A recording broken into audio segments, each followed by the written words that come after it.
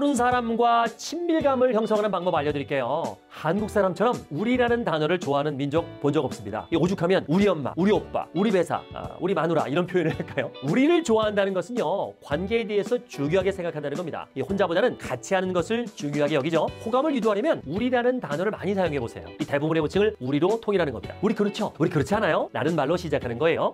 대포 세럼은 산수시의 메인 상품이자 오래된 역사를 가지고 있습니다. 1986년 한국에 처음 소개됐습니다. 이렇게 말해도 판매가 되겠지만 왠지 부족하죠? 화법 바꿔보겠습니다. 우리라는 단어를 의식적으로 많이 넣을 거예요. 또 앞에서 배운 궁금의 기술과 비유법을 적절하게 섞어보겠습니다. 우리 그렇지 않아요? 정말 유명한 맛집을 찾아갔을 때 어떤 게 제일 잘 나가요? 라고 물어보시죠? 맛집일수록 대표하는 음식이 있어요. 그럼 우린 그걸 꼭 먹어보잖아요. 대포 세럼은 올림픽으로 한국을 세계로 알린 88년보다 훨씬 전인 86년에 우리 한국 에 소개돼서 지금까지 산수시를 대표하는 상품으로 유명합니다.